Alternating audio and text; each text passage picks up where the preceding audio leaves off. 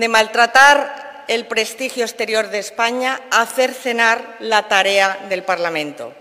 Podríamos hacer un interminable listado, pero como portavoz del Grupo Parlamentario Popular en el Senado, permítanme que me centre en lo que nos afecta más directamente a esta Cámara. Como bien dijo el presidente Feijó el miércoles, uno de los objetivos de este Gobierno es cerrar el Senado. Y tengo que decir alto y claro que no lo vamos a consentir. Quieren cerrar el Senado porque aún no han asumido el resultado electoral del 23 de julio, en el que el Partido Popular ganó las elecciones y el Partido Socialista las perdió. Las. Y hoy sabemos, además, que el piloto que le llevó a recuperar la dirección del Partido Socialista y a ganar su moción de censura fue el señor Ábalos, hoy preimputado por organización criminal tráfico de influencias y cohecho, nada menos. Sánchez no habría llegado a nada sin el preimputado Ábalos. Y de momento, y en lo que nos afecta al Senado, lleva más de un año el señor Sánchez el uno intentando borrar esta Cámara. Y tengo que decirles que el Senado está más vivo que nunca, con el firme compromiso de cumplir su tarea al servicio de todos los españoles. Se ve en las iniciativas que desplegamos cada semana, pero voy a dar unos ejemplos. Primero, la próxima semana el Pleno someterá a debate y votación la ampliación del objeto de la Comisión de Investigación del caso Sánchez. Es una comisión de investigación que, como saben, inicialmente centró sus pesquisas en los sospechosos contratos de mascarillas durante la pandemia y ahora va a someter a examen parlamentario toda, toda la corrupción de la trama que define a Pedro Sánchez como el uno. Aquí tendrá que dar explicaciones y la primera pregunta que tendrá que responder es si se reunió con Aldama y cuántas veces se reunió con él. Y solo hay una única vía para que Sánchez eluda comparecer en la comisión de investigación del Senado. Y esa es que antes presente su dimisión. Es la única salida del presidente del Gobierno. Porque esto sería lo mejor para España y para el Partido Socialista. Bueno, para lo que queda del Partido Socialista. Porque la situación del uno y de Sánchez es insostenible. España merece un Gobierno limpio y un presidente que no tenga dedicación exclusiva a defenderse de su corrupción. Ayer aquí compareció el señor Marlasca, como saben, y todos pudimos ver y escuchar las mentiras de este ministro. Dijo que Interior hizo todo bien, pero la UCO ha confirmado que su número dos preparó con coldo la llegada de Delsi. Dijo no conocer a Aldama, pero infiltrados de la trama en Interior dieron teléfonos Black a Aldama. Dijo que ponía la mano en el fuego por su equipo, pero su director general de la Guardia Civil fue quien dio el chivatazo a la trama, como ha confesado Coldo. Marlasca dijo que en el Ministerio de Interior nadie campaba a sus anchas. Pero la verdad es que Aldama campó a sus anchas por una pista de aterrizaje, mientras Marlasca dice que no lo sabía. Delsi campó a sus anchas por espacio aéreo español y suelo español. Las maletas camparon a sus anchas por barajas y los infiltrados en interior compraron a sus anchas teléfonos para la trama. Él sabrá, pero una advertencia a todos los comparecientes en la Comisión de Investigación del Senado.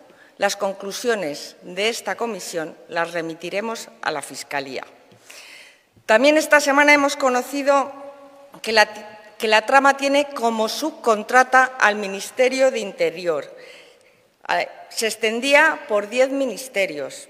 El PSOE, comunidades autónomas gobernadas por presidentes socialistas y que tiene como centro o como epicentro el del Seagate y los lingotes de oro.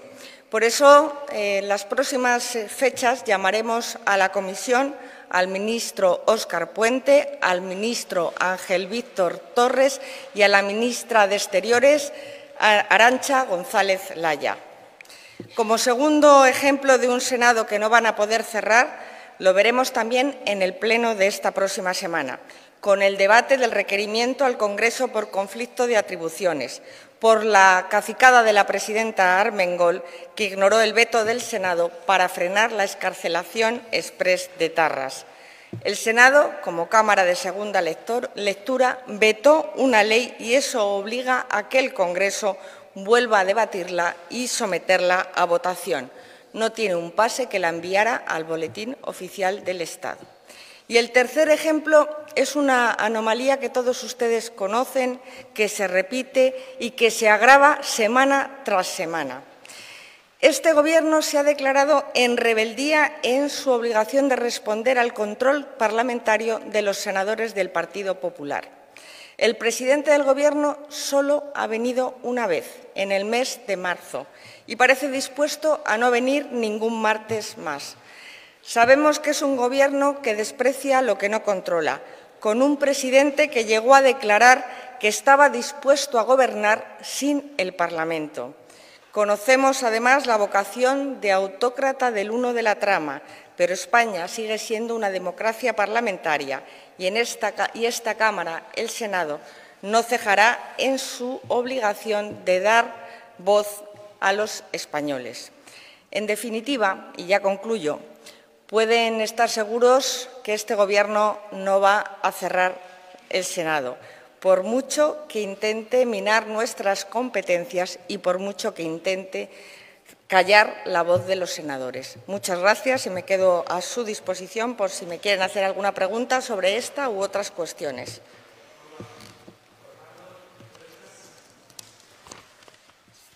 Hola, buenos días. Eh, quería, hola, buenos días, portavoz. Quería preguntarle sobre el cambio de reglamento del Senado aprobado en este pleno, en el pleno anterior.